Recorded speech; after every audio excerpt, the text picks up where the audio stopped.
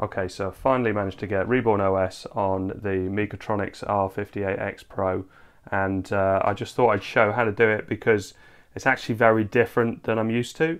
So I'm running Windows 11 on my little MeLe mini PC and you can see this USB cable is connected to the USB-C input on the Mekotronics. So Mekotronics sent me some download links which I'll put in the description and the one I need is this one because I've got the R58X Pro so let's copy that link and open that in a browser. And you just click on download. I've already downloaded it and it's on my desktop. So everything you should need is in this file. So we unzip that, so let's just drag that whole folder over to here. And I can delete this one now. So in here we need to unzip this one. And we just pop it in here. And now I can delete this one.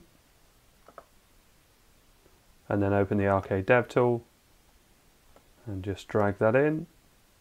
And there are some instructions here on a PDF if you get stuck. So I can delete this now. Now if you've already flashed an operating system to your Mekotronics board uh, you'll already have the driver assistant which is available from the Mekotronics website. So I won't go through that bit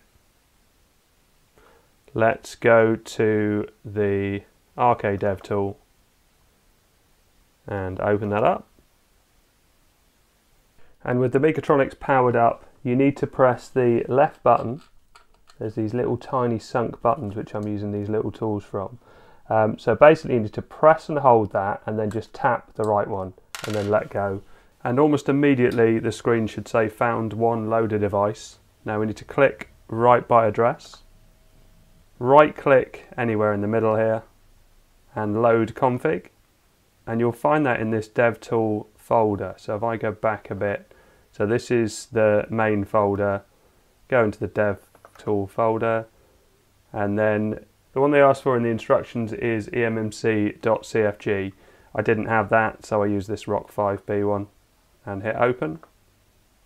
And OK now we need to click on the right hand side here in this green square, just left click. And then we need to find the bin file which is also in this uh, main folder that we've unzipped. Somewhere. If I go back, yeah here it is, bin. And open. Then we need to click on this square on the right hand side.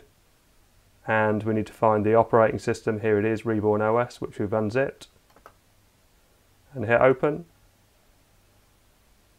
and then hit run. And if everything's gone correctly, it should install and then reboot the Mekotronics. You'll hear a little click when it's done. Okay, so you can see it says download image OK, so that's all done. So now if I unplug the HDMI from the back of my little mini PC and pop this in the HDMI out, we should have Reborn OS. And we have.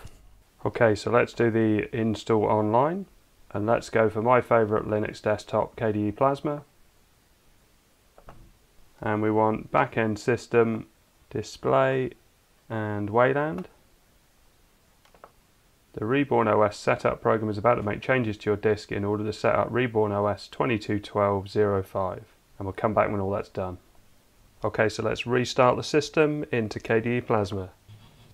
Okay, so oh, we don't have Wayland in here.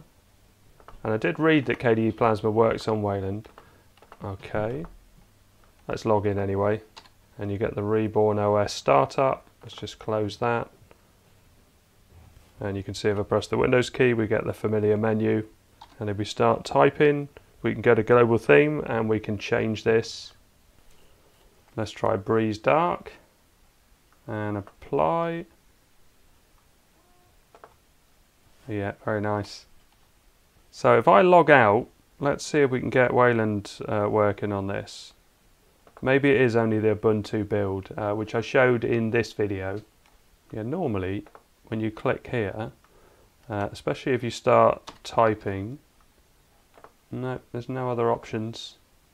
And I was pleased to see that the ETA Prime video recently on the Rock Pi 5 showing PC games on ARM uh, with Steam is available for this board because Munker has made it available for the R58X 4G, which is the same as this Pro model. So I guess I'll be trying that next. Okay, so I hope all this helps. Thanks very much for watching. Please like and subscribe.